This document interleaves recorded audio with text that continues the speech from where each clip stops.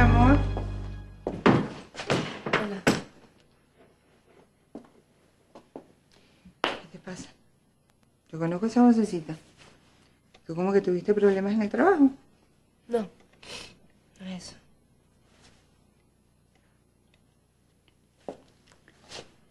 ¿Tú como que estás brava conmigo todavía por lo del vestido? ¿Mm? Tú sabes, yo estuve pensando y quisiera que habláramos sobre ese asunto. Ven, acompáñame. Vamos a sentarnos.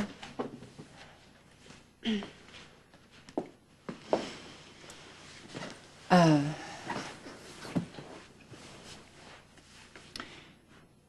Mira, mi amor, la- las cosas a veces no son tan sencillas como tú las crees.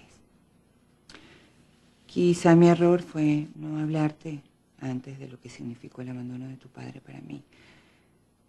Y si no lo hice fue por respeto a ti, por respeto a la imagen que tú pudieras conservar de él. Cuando tú seas más grande, un poquito más grande, cuando tú tengas un poco más de experiencia en la vida, yo sé que me vas a entender. Fue muy duro para mí, Mariana, ¿sabes? Muy duro, hija. Para cualquier mujer es duro que un hombre la deje por otra mujer. Y además, si esa mujer es mucho más joven que tú y tiene los atributos físicos que tú no tienes. Entonces es como, como si te dieran una bofetada y te dijeran, ¿sabes qué? Te dejo por vieja y por fea. ¿Y qué va a ser una? Si no es agraciada y tiene los años que tiene. ¿Mm? Es como si te dijeran, te dejo porque eres negra, o te dejo porque eres china, o, o no sé, qué sé yo, te dejo por porque eres lo que eres y no puedes dejar de serlo.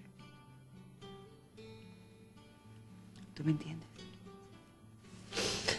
Perdóname, mami, perdóname, por favor, sí. Ay, mi amor, yo te perdono, te perdono. Pero con una condición. Que me digas qué es lo que te pasa. Que estoy enamorada. Estoy enamorada de Federico como una loca y, y no sé qué hacer, mami.